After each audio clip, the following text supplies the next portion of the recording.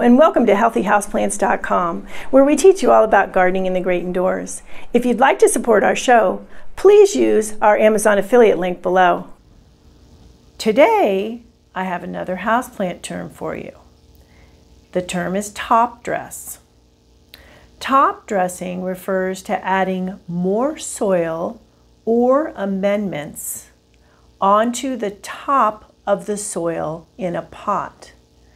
I do have a video on how to do this and more on why to do this, but just very quickly, the reason you do this oftentimes is when you can't repot the whole plant for some reason.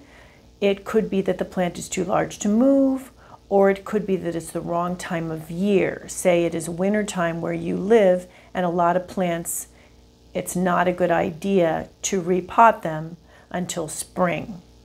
So you add soil and or amendments such as worm compost and a little bit of fertilizer onto the top of the plant. Generally, it will be soil and a very mild fertilizer amendment such as worm compost that you would put on top.